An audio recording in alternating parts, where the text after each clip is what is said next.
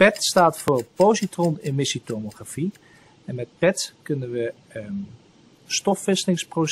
en eiwitneerslagen in de hersenen zichtbaar maken door middel van de injectie van een klein beetje radioactiviteit. En die radioactiviteit is dan al na enkele uren weer uit het lichaam verdwenen. In het cyclotron wordt radioactiviteit geproduceerd en via een leiding getransporteerd naar het radionuclidencentrum.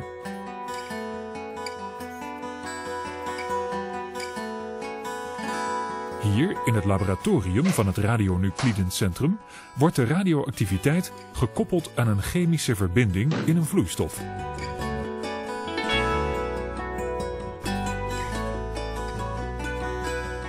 Deze steriele vloeistof, het farmacon, zal later toegediend worden aan de patiënt.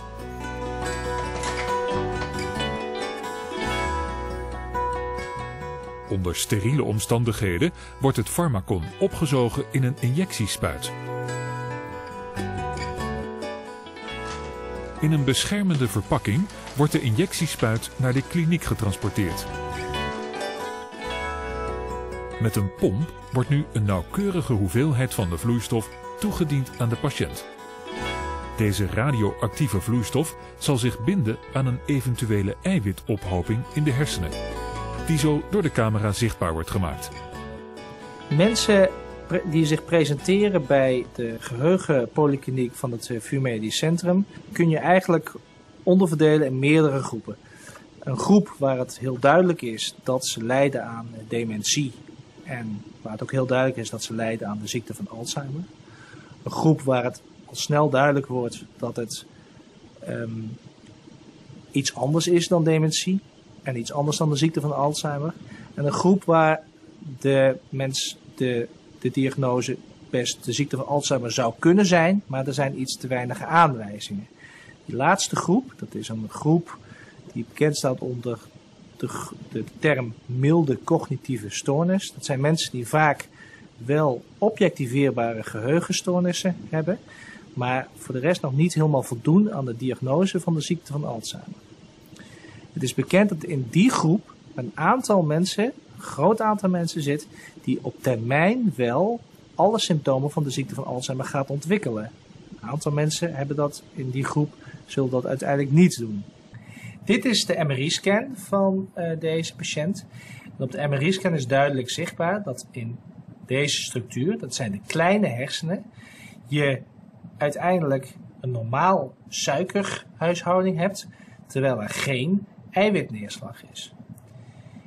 Echter in dit gedeelte van de hersenen, dat bekend staat als zijn het gebied waar de ziekte van Alzheimer het eerste begint, zie je een duidelijk gestoorde suikerhuishouding met een hele hoge eiwitneerslag. Met PET kunnen we, en met, name met het zichtbaar maken van die uh, eiwitneerslagen die geassocieerd zijn met de ziekte van Alzheimer, um, kunnen we de mensen die uiteindelijk in die MCU-groep die de ziekte van Alzheimer gaan ontwikkelen, sneller op het spoor komen. Dit is heel belangrijk, want enerzijds kun je een groot aantal mensen geruststellen dat ze wat ander, uh, een, iets anders hebben dan de ziekte van Alzheimer.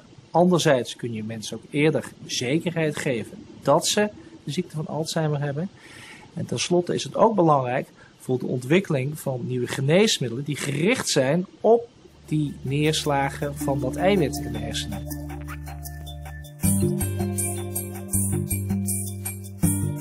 Met betrekking tot de ziekte van Alzheimer bepalen we in het hersenvocht, de liquor, een drietal eiwitten. Amyloïd beta, het tau en het fosfotau. En met behulp van de concentratie van die eiwitten kunnen we zien welke processen er in de hersenen al plaatsvinden. De praktische waarde van het onderzoek op dit moment is dat wij in staat zijn om door de bepaling van de biomarkers uh, de klinicus behulpzaam te zijn bij het stellen van de diagnose de ziekte van Alzheimer.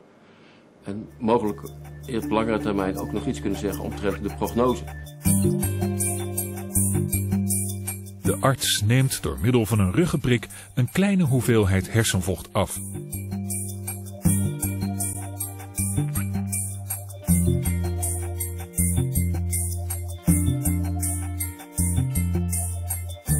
In het laboratorium wordt het hersenvocht voorbereid voor de bepaling van biomarkers.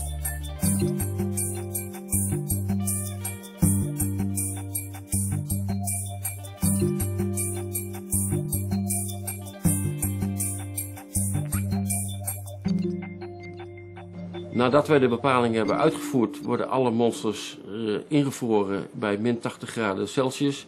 En alle gegevens worden ingevoerd in de databank. En op die manier hebben wij wat wij noemen een biobank van uh, hersenvochten van patiënten met de ziekte van Alzheimer. Het belang is dat we dan een verzameling krijgen van hersenvochten van patiënten waarvan we het ziektebeloop kennen. En we weten dat als er uh, nieuwe markers zich aandienen, en die zullen ongetwijfeld komen omdat er wereldwijd niet alleen in ons laboratorium, maar ook eh, elders in de wereld, heel veel onderzoek gedaan wordt naar het ontstaan van de ziekte van Alzheimer. Als zich nieuwe markers aandienen, dan zijn we in staat om daar heel snel op te reageren, omdat wij nou een keer die grote verzameling hebben van goed gekarakteriseerde monsters. Enkele weken later wordt het ingevroren hersenvocht ontdooid en geprepareerd door middel van een kleuring. Deze kleuring maakt het mogelijk om met een analyseapparaat de hoeveelheid biomarkers te meten.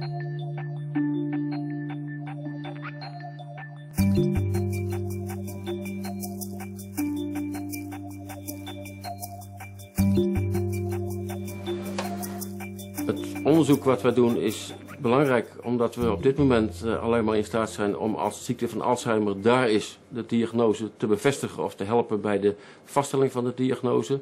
Wat we natuurlijk vreselijk graag willen is het tijdstip van diagnose uh, vervroegen, zodat we in een vroeg stadium al patiënten kunnen identificeren waarbij er in de hersenen zich veranderingen afspelen die mogelijk op termijn kunnen leiden tot het uh, ontstaan van de ziekte van Alzheimer.